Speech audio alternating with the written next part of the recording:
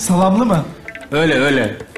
Salatalık da var mı içinde? Var. Olmadı yönetmenden bir parmak isteriz. Evet hocam. Şimdi de ki iş elinle. Hey delikanlı. Yemin ediyorum. Neyse. Ha sağ ol ne güzel bir simit anlayışın var ya.